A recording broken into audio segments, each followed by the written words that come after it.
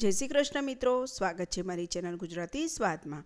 આજે હું તમારી સાથે ગુંદર પાકની રીત લઈને આવી છું, જે મેં ગોળથી બનાવ્યો છે, ગોળનો ઉપયોગ કર્યો છે, અને આ રીતે તમે ગુંદર પાક બનાવશો તો એકદમ સોફ્ટ બનશે.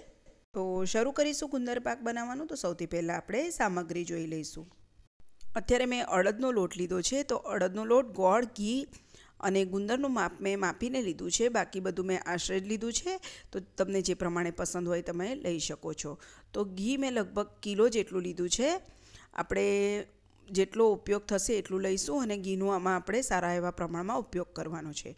પાંચસો ગ્રામ મેં અડદનો ઝીણો લોટ લીધો છે. માર્કેટમાં કકરો લોટ પણ મળતો હોય છે, પરંતુ મેં ઝીણો લોટ લીધો છે. પાંચસો ગ્રામ દેશી ગોળ લીધો છે, ગોળને મેં કાપી લીધો છે. એક સૂકું નાળિયેર મેં આ રીતે ખમણીને લઈ લીધું છે. અઢીસો ગ્રામ મેં આ રીતે ગુંદર લીધો છે અને સો ગ્રામ મેં આ બત્રીસું. જે તમને કરિયાણાની દુકાનમાં સરળતાથી મળી જશે તો સો ગ્રામ મેં બત્રીસુનો પાવડર આ રીતે માર્કેટમાં મળે છે, એ લીધો છે. એનાથી ગુંદર પાકનો ટેસ્ટ ખૂબ જ સરસ આવે છે. સો ગ્રામ જેટલા મેં કાજુના ટુકડા લીધા છે, સો ગ્રામ જેટલી મેં બદામ લીધી છે. ડ્રાયફ્રૂટ તમે તમારા પસંદગી પ્રમાણે વધારે ઓછું કરી શકો છો. ચાર ટેબલસ્પૂન જેટલી મેં સૂંઠ પાવડર, ચાર ટેબલસ્પૂન જેટલા મેં ગંઠોડા પાવડર લીધા છે. બે ટેબલસ્પૂન મેં ખસખસ લીધી છે. અને બે ટેબલસ્પૂન મગજતરીના બીજ લીધા છે. હવે થોડા મગજતરીના બીજ મેં છેલ્લે ગાર્નિશિંગ માટે રાખ્યા છે અને થોડા મેં પિસ્તાની કતરણ કરી દીધી છે. એ પણ આપણે છેલ્લે ગાર્નિશિંગમાં ઉપયોગ કરીશું.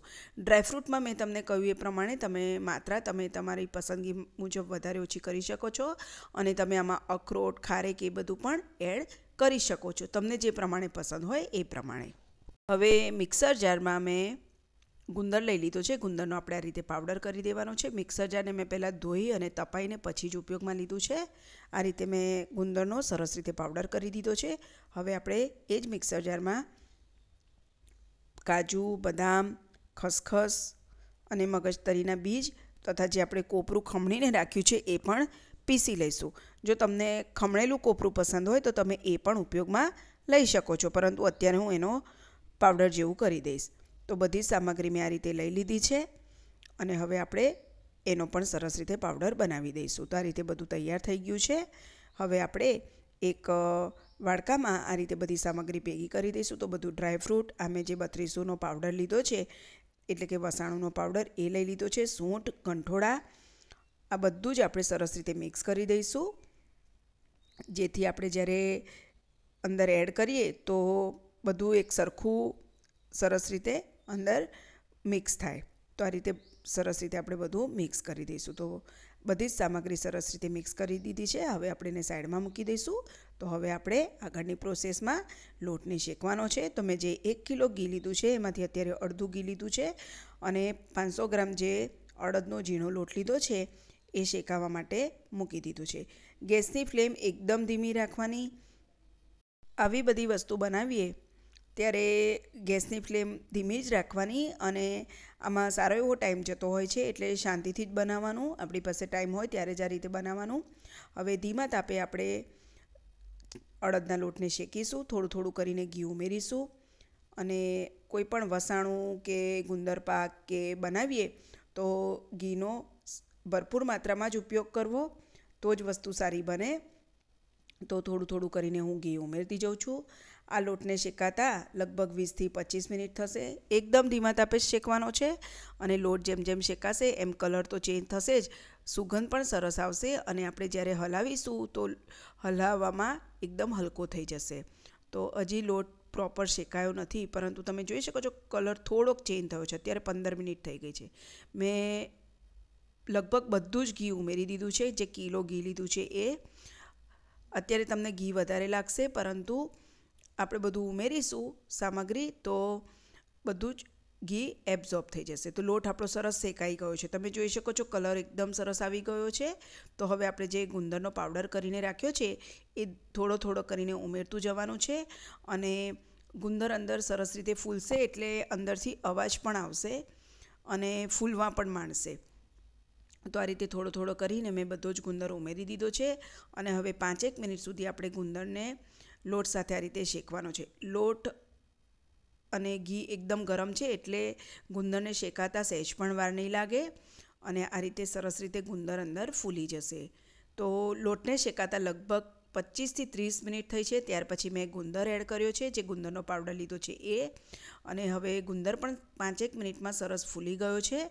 તો હવે આપણે એમાં જે બધી સામગ્રી મિક્સ કરીને રાખી છે એ એડ કરી દઈશું. તો પાંચથી સાત મિનિટ મેં ગુંદરને પણ લોટની સાથે સરસ રીતે શેકી દીધો.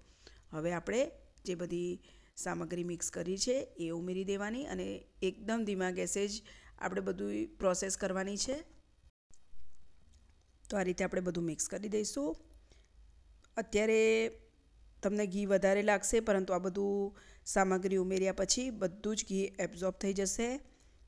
એટલે ઘી વાપરવામાં સહેજ પણ કચસર નહીં કરવાની. તો મેં જે એક કિલો ઘી લીધું હતું, એ બધું જ મેં ઉપયોગમાં લઈ લીધું છે. બધું સરસ રીતે મિક્સ થઈ ગયું છે. તમે જોઈ શકો છો. તો હવે આપણે જે ગોળ કાપીને રાખ્યો છે, એ ઉમેરી દઈશું. તો ગેસની ફ્લેમ હવે મેં બંધ કરી દીધી છે અને તરત જ આપણે ગોળ ઉમેરી દેવાનો. ગોળ ઉમેર્યા પછી આપણે ગેસની ફ્લેમ ચાલુ નહીં રાખવાની, નહીતર જે આપણે પાયો બનાવીશું તો કડક થઈ જશે. આપણે જે રીતે સુખડીમાં પ્રોસેસ કરીએ છીએ, એ જ પ્રોસેસ આમાં કરવાની. અને ગેસની ફ્લેમ બંધ કર્યા પછી જ મેં ગોળ ઉમેર્યો છે. અને લોટ શેકાયેલો, ગરમ જ છે એટલે ગોળ પાંચથી છ મિનિટમાં સરસ રીતે અંદર ઓગળી જશે. આ રીતે આપણે પણ કન્ટિન્યુઅસ હલાવતું રહેવાનું. તો હવે આપણે નીચે ઉતારી દઈશું અને એક વખત સરસ રીતે ગોળ ઓગળે પછી આપણે ઠારીમાં ઠારી દેવાનો. તો આ રીતે ગોળ સરસ રીતે ઓગળી જાય. પછી જ આપણે એને ઠારીશું. તમે જોઈ શકો છો ઘી બધું જ એબ્ઝોર્બ થઈ ગયું છે. અત્યારે શિયાળો છે એટલે ઘીને ઠરતા પણ વાર ના લાગે. તો બધું જ સરસ રીતે મિક્સ થઈ ગયું છે. ગોળ પણ સરસ રીતે ઓગળી ગયો છે. તો હવે આપણે જે થાળીમાં ઠારવાનું છે એને મેં ઘીથી ગ્રીસ કરી દીધી છે. અને આપણે એને બે થાળીમાં ઠારીશું. તો આપણે બે થાળીમાં લેવું પડશે. થાળીને મેં ઘીથી ગ્રીસ કરી દીધી છે અને આ રીતે આપણે સરસ રીતે લઈ લઈશું. મેં તમને પહેલાં કહ્યું એ પ્રમાણે ડ્રાયફ્રૂટનું પ્રમાણ, સૂંઠ ગંઠોળાનું પ્રમાણ, તમે તમારા ટેસ્ટ પ્રમાણે વધારે ઓછું કરી શકો છો. અને મેં જે બત્રીસોનો પાવડર જે તૈયાર લીધો છે એ ઓપ્શનલ છે. તમારે ના નાખવો હોય તો તમે એને સ્કીપ પણ કરી શકો છો. તો આ રીતે સરસ રીતે પ્રેસ કરી દેવાનું.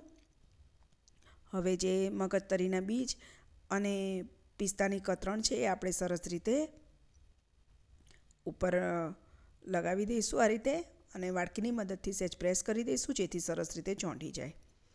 તો એકદમ સરસ અને એકદમ સોફ્ટ આ ગુંદર પાક બન્યો છે. તમે આ રીતે બનાવીને જરૂરથી ટ્રાય કરજો. અને તમને જો મારો આ વીડિયો પસંદ પડે તો મારી ચેનલને લાઇક શેર અને સબસ્ક્રાઈબ કરવાનું બિલકુલ ના ભૂલતા.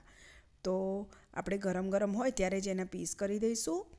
ઘીનું પ્રમાણ એકદમ પ્રોપર છે. તમે જોઈ શકો છો એકદમ સરસ આપણો ગુંદર ભાગ બન્યો છે. તો આપણે એના કટ લગાવી દઈશું અને અડધા એક કલાક પછી આપણે એને ડબ્બામાં ભરી દઈશું.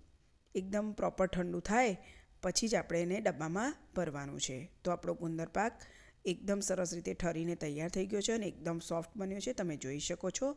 તો તમે પણ આ રીતે બનાવી જોજો.